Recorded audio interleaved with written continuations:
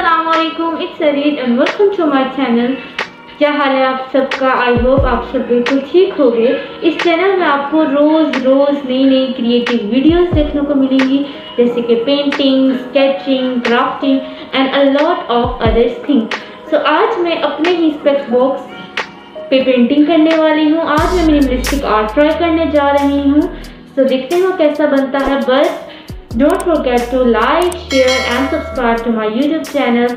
So let's start the video.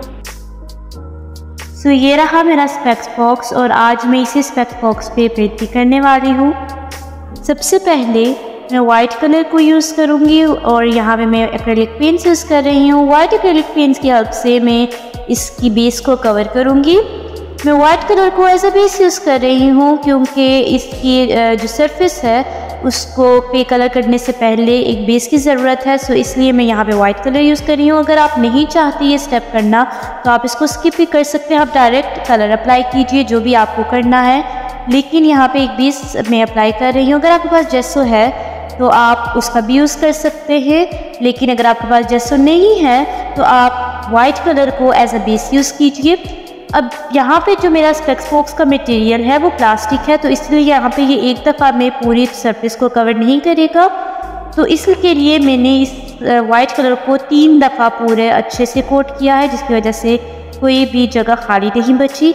अब मैं white और पिंक कलर को मिक्स करूँगी और इससे एक लाइट शेड ऑफ़ पिंक बनाऊँगी। यहाँ पे मैंने वाइट कलर को ज़्यादा लिया है, उसकी क्वांटिटी को ज़्यादा लिया है और पिंक कलर की क्वांटिटी को कम लिया है।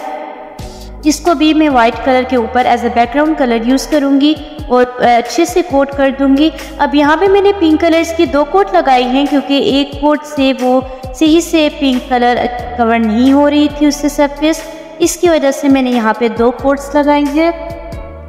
और यहाँ पे अभी मैं मेन कलर स्कीम की तरफ़ आऊँगी। सबसे पहले मैं यूज़ करूँगी white pink yellow and orange इन सारे कलर्स को, इन चार कलर्स को मिक्स करके एक अच्छा सा, प्यारा सा ब्राउनिश स्किन टोन कलर बनेगा। इसको मैं अप्लाई करना स्टार्ट करूँगी। अब ये आपकी मर्ज़ी है कि आप दो कलर्स यूज़ करें, तीन करें, चार करें और आप कोई भी डिज़ाइन चूज़ कर सकते हैं, कोई भी पैटर्न चूज़ कर सकते हैं। मैं यहाँ पे इंडेफिनेट शेप्स यूज़ कर रही हूँ, लेकिन अगर आप चाहो तो आप डेफिनेट शेप्स के साथ अपनी पेंटिंग को कंप्लीट कर सकते हो। और आप अपनी मर्ज़ी के कलर कम्बिनेशन भी ट्राई कर सकते हो। बस आपको ध्यान रखना है कि आपको हर जस जो भी आप एरिया पेंट कर रहे हो, वो आप अच्छे से पेंट करो और वहाँ पे कोई भी जगह खाली ना रहने पाए। अब यहाँ पे जैसे कि मैंने इतनी सारी कोट्स अप्लाई कर दी हैं तो मुझे मेन कलर्स को सिर्फ़ एक ही दफ़ा कोट करना है और अब मैं यहाँ पे सेकंड कलर को यूज़ करूँगी। उसके लिए मैंने वाइट और ब्राउन कलर लिया है। इसके हिस्से में light shade of brown use करूँगी मिक्स कर लूँगी। अगर आप चाहो तो इसको कहीं और भी पेंट कर सकते हो। लाइक आप इस कलर को मिट इस बॉक्स के मिट पे पेंट कर लो, या आपके पास जो भी चीज़ है पेज है, या कोई और चीज़ जिस पर आप पेंट करो आप उसकी पोजीशन चेंज कर सकते हो। लेकिन मैंने यहाँ पे इसके बॉटम पे पेंट किया है। अगेन वही बात, अब यहाँ पे ये सारे कलर्स करने के बाद मैंने बीच में आप चाहो तो ये जगह खाली भी रख सकते हो, लेकिन अगर आप चाहो तो आप इसके बीच में कोई ड्राइंग भी मिला सकते हो। अब यहाँ पे मैं एक और कलर कॉम्बिनेशन ग्रीन का यूज़ करूँगी, जिसके लिए मैंने वाइट पिंक येलो ऑरेंज और ब्लू कलर इन पाँचों कलर को मिक्स करूँगी और एक बहुत ही प्यारा यूनिक सा ग्रीन का शेड तैयार हो जाएगा। अब मैं इसको ब्लू सॉरी ब्राउन और येलो uh, कलर जो स्किन टोन में येलो कलर बना था उसके मिड में लगाऊँगी। और सिर्फ़ मैं ऊपर ही नहीं लगा रही बल्कि मैं साइड्स की जगह को भी कवर कर रही हूँ ताकि ये बॉक्स बहुत ही ज़्यादा प्यारा लगे। और ऐसा ना लगे कि आपने बिल सिर्फ़ फ्रंट साइड पे ही कलर किया है और साइड्स की जगहों को छोड़ दिया है। अब मैं जो मिड वाला एरिया है उसको फ्लावर से कवर कर रही हूँ। अब यह आपकी चॉइस है, आप पे डिपेंड करता है कि आप इस पर कलर करो, कोई भी, कोई डिज़ाइन बनाओ या ना बनाओ, और ज़रूरी नहीं कि आप फ्लावर बनाओ। आप कोई भी और चीज़ बना सकते हो, आप कोई फेस की पेंटिंग कर सकते हो या कोई भी और चीज़।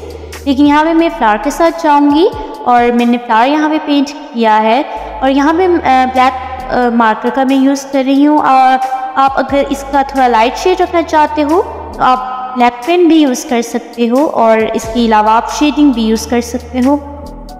अच्छे से फूल की पत्तियों को बनाने के बाद अब मैं इसके स्टेम की तरफ़ आऊँगी और इसकी स्टेम पे मैं हल्का हल्का ब्लैक कलर ब्लैक मार्कर ही को जो ब्लैक मार्कर कलर में यूज़ कर रही हूँ, उसी को शेड भी करूँगी ताकि वो थोड़ा मज़ीद अच्छा लगे दिखने में। इसके साथ मैं यहाँ पे अभी इसकी लीव्स भी बना लूँगी और आप ज़रूरी नहीं कि आप ये स्टेप बाय स्टेप फॉलो करो। आपको जो भी डिज़ाइन पसंद हो, आप वो बनाएँ।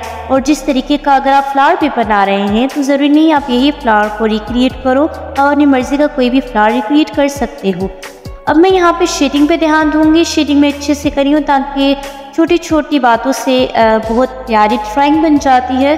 आप जो भी पेंटिंग बना रहे हो तो इन छोटी छोटी बातों का ध्यान रखते हुए हम सारी अपनी पेंटिंग कंप्लीट करेंगे। ये रहा फाइनल लुक और मुझे तो ये बहुत अच्छा लगा आप ज़रूर इसको रिक्रिएट so, करें And if you want to make your sketchbook look different and elegant, you can try this and you can try another designs of art as well. ज़रूरी नहीं है कि आप यही बनाएँ। आप कुछ भी पेंट कर सकते हैं, जो भी आपको अच्छा लगे और जो आपको इजी हो बनाना, आप वो इस पर बना सकते हैं। ज़रूरी नहीं है इस पर आप किसी चीज़ पे भी बना सकते हैं।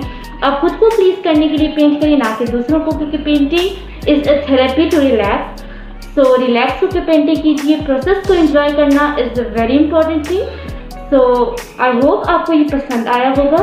अगर आपको ये पसंद आया है so don't forget to give the thumbs up to it also मुझे कमेंट कर सकते हैं कि आपको और किस तरह की वीडियोस देखना पसंद है and the most important thing press the bell icon so that you can get the notification of my new video and आप बहुत सारा ख्याल रखिए मिलते हैं नेक्स्ट वीडियो में और अपनी दुआ में मुझे याद रखिए। अल्लाह हाफिज़।